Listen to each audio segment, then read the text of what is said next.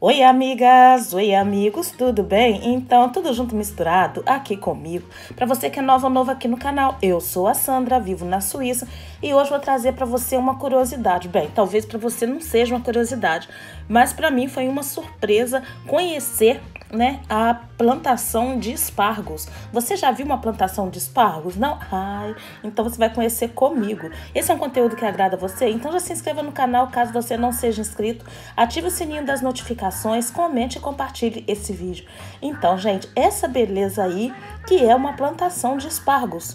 Olha só, quem nunca comeu espargo? Você já provou espargos? Aqueles né, em conserva? Geralmente o que eu comi era só em conserva, né?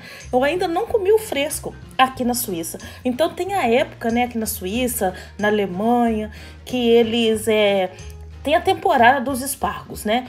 Bem, os espargos, é, particularmente, né, eles aparecem muito na cozinha inglesa, alemã, francesa, né, e eles são colhidos na primavera, tá? São colhidos na primavera. É, desde que você planta, a partir do segundo, terceiro ano é que ele começa a produzir, tá? E os espargos, gente, eles têm, ele tem baixa caloria, né? É rico em ácido fólico, tá? E tem a propriedade diurética também.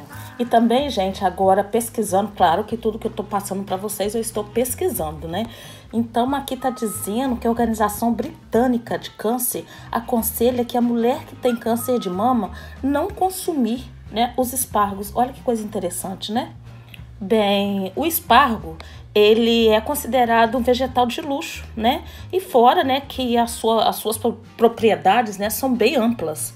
É, é, rico em fibras, vitamina C, em vitamina B1 e B2, vitamina E, em ácido fólico, né, como já disse anteriormente, é, em fósforo, é, cálcio, né, magnésio, em ferro, em zinco, em potássio, né?